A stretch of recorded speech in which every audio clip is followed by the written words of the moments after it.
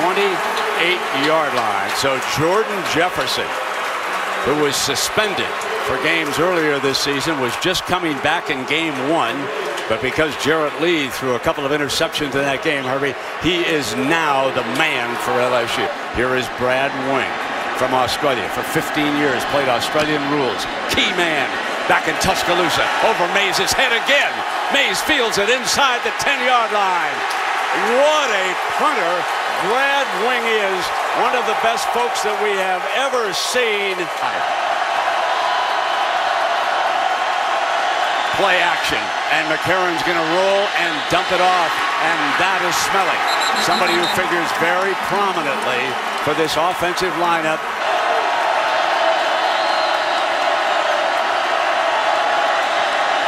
action again. First two plays, passes. First two to Smelley.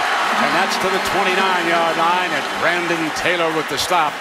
He now edges down at the top of your screen, number seven. Third down, Mathieu trying to get in. He's picked up, complete, and it's a first down. McCarron IDs the middleman, the Mike linebacker. And they were running and it was read perfectly by John Chavis. He sent the extra linebacker right on the field. It is third down and five. And McCarron hands it off on a running play. Richardson tripped up, can't get the first down. Stopped a yard short on that play. Touchdowns in each of LSU's last two games returning punts. Arkansas and Georgia in the SEC championship. Big part of this game right here.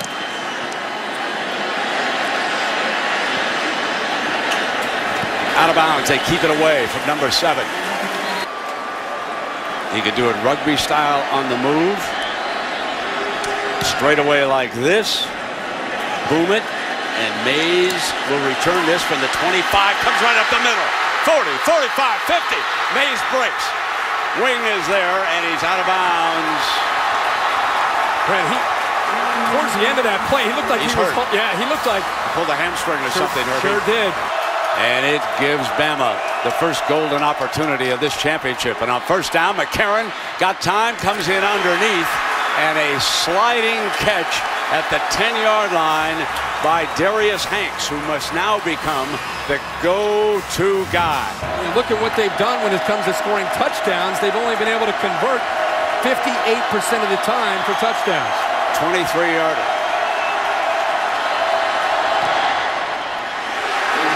Shelley nails it. And that is huge for his confidence. And somehow, Les Miles and this coaching staff kept this team together. Alfred Blue, the running back.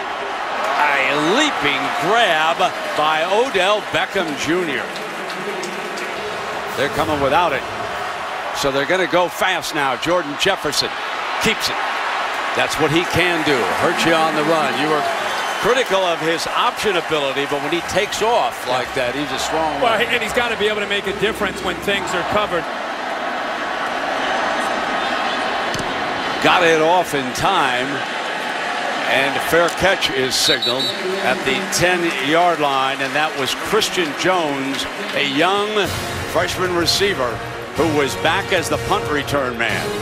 Eddie Lacy is in as running back. There's a penalty flag on this play. Lacy trying to get the left edge is stopped at the 15. Offside.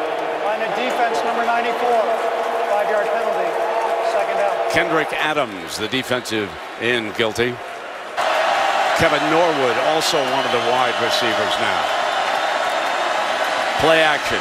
McCarron on the roll, going to drop it off to Smelley underneath for a first down. Baker makes a stop, and let's check in down below with Tom Rinaldi. McCarron deflected, caught on the ricochet, and it was caught by Underwood, one of the tight ends. And they come back with Lacy, and he is stopped right at that first down marker, and he appears to have moved the chains. Yes, he has. Now they shift two tight ends over to the left. First down and 10. Final seconds of the opening quarter. And here's McCarron. Going to go deep. Leaping catch. Ball is grabbed at the 38-yard line, and Norwood off the bench made the leaping catch for Bama. Harrison Jones, one of those tight ends, is off to the right. Kenny Bell is number seven. Play action. McCarron left open, takes off and slides to the 30-yard line.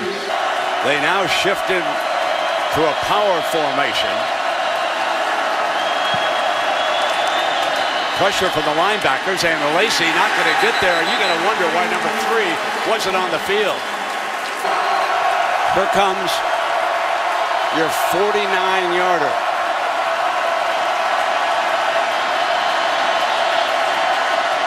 It's a fake.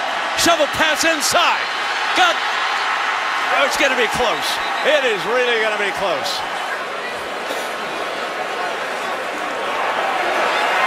Wow, wow.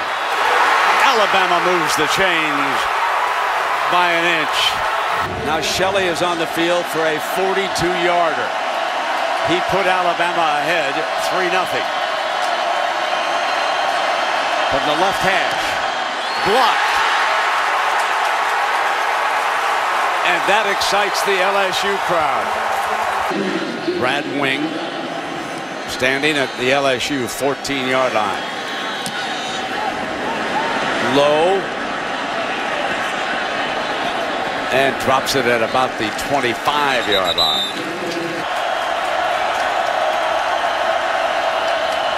McCarron forced out of the pocket, fires complete to Hanks, got the first down. Richardson around the right side finds a hole and steps into it to the 43-yard line on that first down. Mathieu will go to the slot receiver on this second down. He's looking at Hanks. And they'll run Richardson against the nickel for a first down to midfield. Claiborne up in bump and run, and so is Mathieu. Trying to get a linebacker pressure. They can't. Smelley comes underneath and well sniffed out by McElwain. On second down, the delay. Richardson's got daylight. 40, 35 going to be run out of bounds close to the 25-yard line.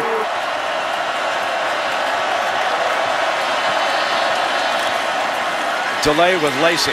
Spins to the left and crashes inside on a fine run.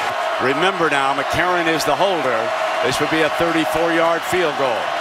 They have faked one earlier with their other kicker. Nails this one. Here we go again.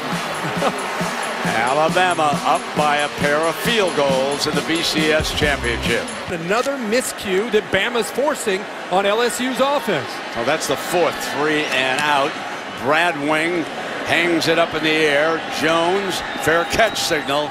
And at the 22, Mathieu, the gunner, in on top of him moving the pocket, rolling him around. They've just done a lot to slow down LSU. Richardson, you saw the picture, check back in. McCarron on first down drops off the screen pass to his running back, and he's down at the 30-yard line. He's been a father since his high school days. Doak Walker Award winner this year. Third down and two. It's a shot, and he's got the first down. He has a tremendous base. He is so hard for one man to bring him down. Mathieu is picked up, coming on a blitz, and it's complete to the 45-yard line, and that is Norwood again. The safeties are deep for LSU.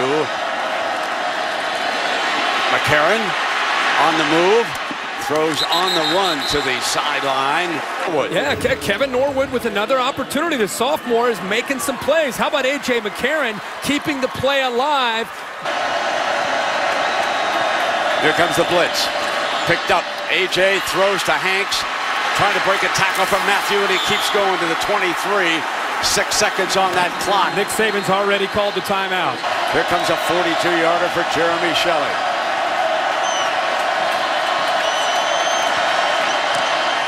Laces were spun beautifully, and he puts them up by three field goals. Boy, A.J. McCarron, talk about emotion, seeing him run off the field. first half, he is without a doubt the MVP. That effort by playing quarterback, and as you said, spinning the laces there to give his kicker, Shelley, a chance.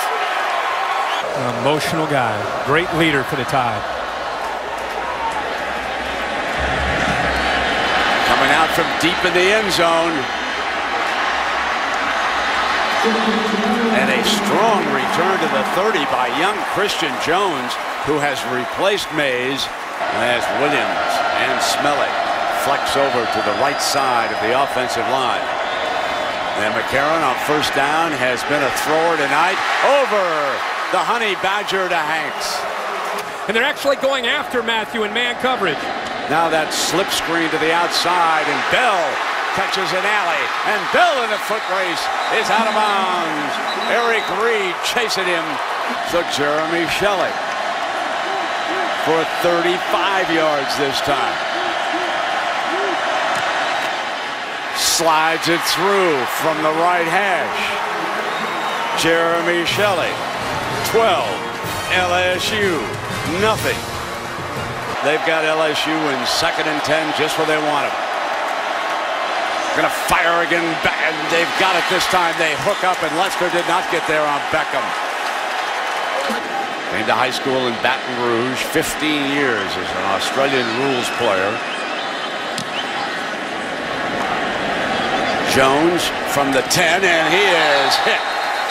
The gunner Brooks down on top of him in a hurry, and there's a penalty flag. Personal foul. Unnecessary.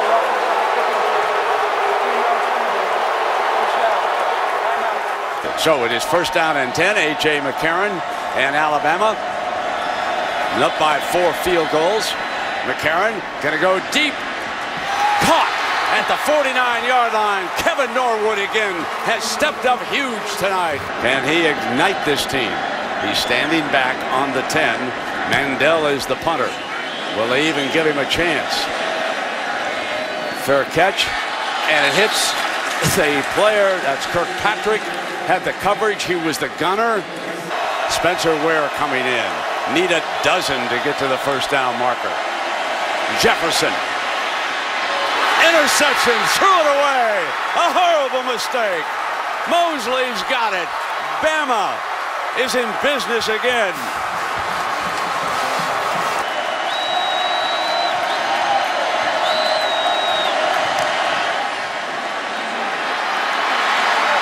Misses to the right. Now, LSU very much in the thick of things here. Where is the running back? Sacked.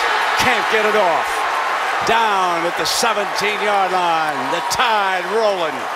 Gentry in on the quarterback. Spencer Ware could not pick him up with the block, and Gentry just continued to power in. Now Jones is back deep for Bama. Not one of Wing's better punts. From the 38, alley in the middle. Jones still on his feet, and he's to the 47-yard line.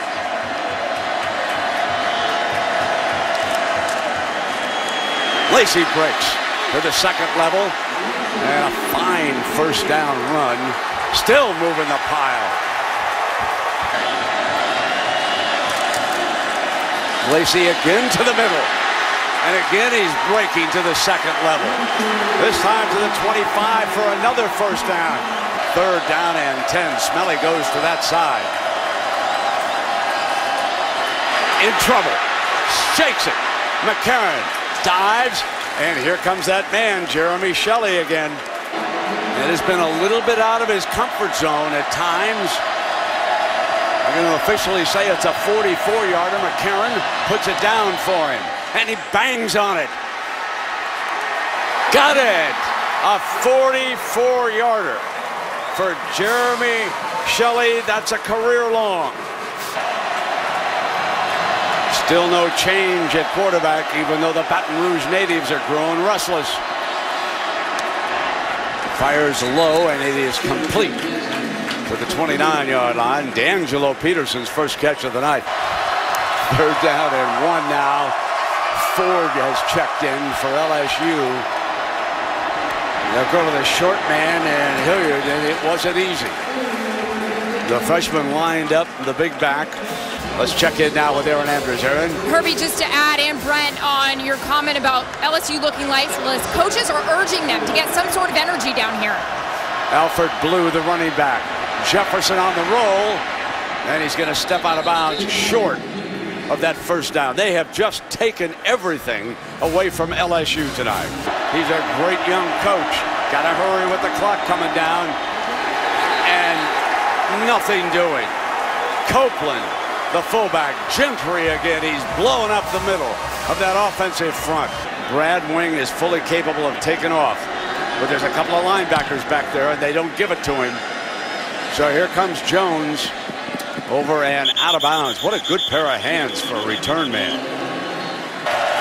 Seven quarters these two teams have battled this year. Not a single touchdown yet. Down goes McCarron. Minter all over him at the 10-yard line. Cody Mandell, the sophomore,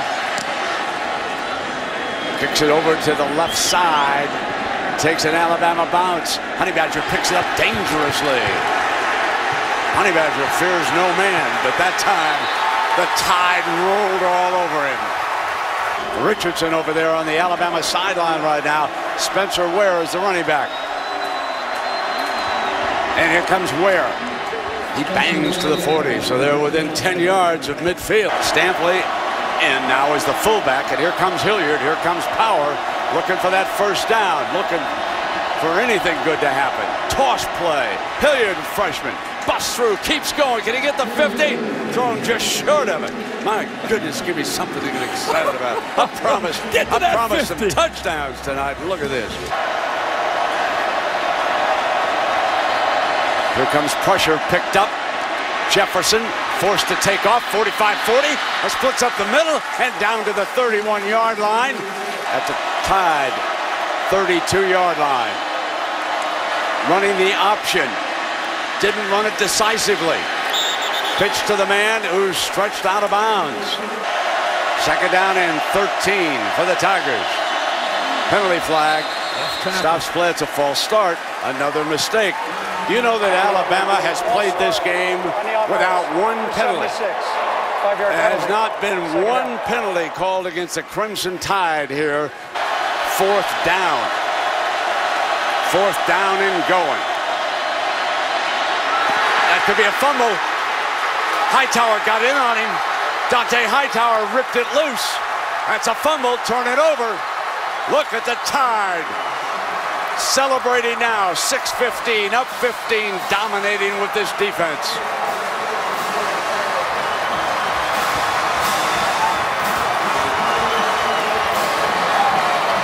This is a mauling, folks, a mauling.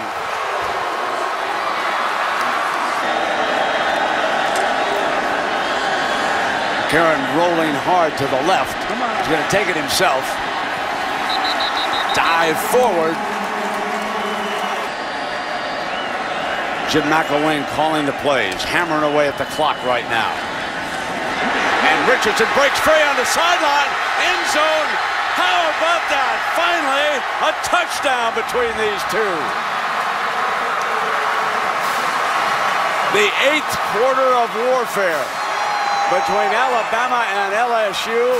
And Bama scores on a 34-yard touchdown run by the Doak Walker Award winner, Trent Richardson.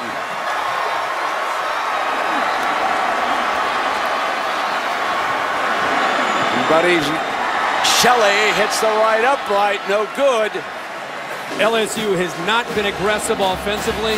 You thought it might change from the first matchup to this game, but Jordan Jefferson has just not been able to get into a rhythm tonight. And he's down at the 19-yard line. Hightower again. Would like to turn it loose here on Brad Wing. Penalty flag. You saw the movement on that side.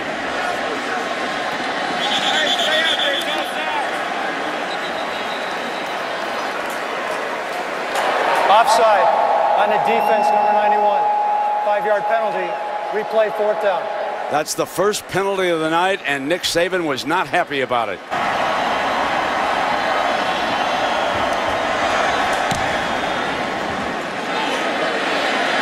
Jones lays even, off it even worse this one. This one was worse than the previous punt. Close to midfield. Handoff to Lacy. Clock continues to run. What a night. It's amazing to think about the legend of Nick Saban and how it just continues to grow after the championship two years ago. What this defense was able to do tonight to lead them to yet another national championship for the Crimson Tide. So on fourth down, Remember last time in the championship, they hit him over the head when they tried to get the water? Let's see if he told them, be careful this time, fellas. Alabama gets a second chance and makes the most of it. They win the BCS championship behind Coach Nick Saban and quarterback A.J. McCarron.